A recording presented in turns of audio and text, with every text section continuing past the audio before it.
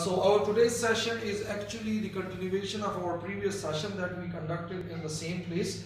That one was around uh, the concept of uh, entrepreneurship. What is entrepreneurship? What is entrepreneurship attitude?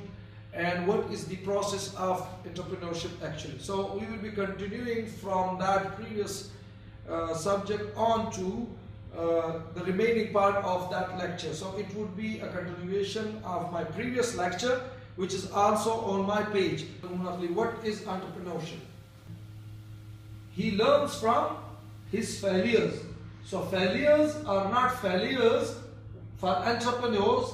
Failures are actually learning opportunities for an entrepreneur. Don't go to a market as a customer, go to the market as a supplier. When you go to a market with the mentality of a supplier, you will be more potentially more able to identify ideas for selling something in that market. If you go to a market with the mentality of a customer, there are very less chances that you will discover something or some opportunity that you can sell something over here. Human being itself is a very big resource.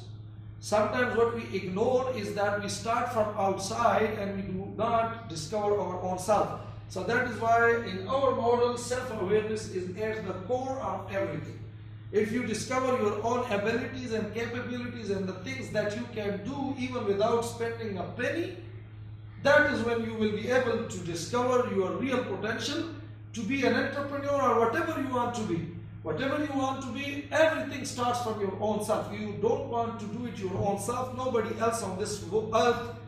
All the the successful people on this planet, everyone has started the journey from discovering their own self, discovering their abilities and capabilities, and the things that they were best in. And then they focused on what they were best of, and nobody could have stopped them on the face of this earth.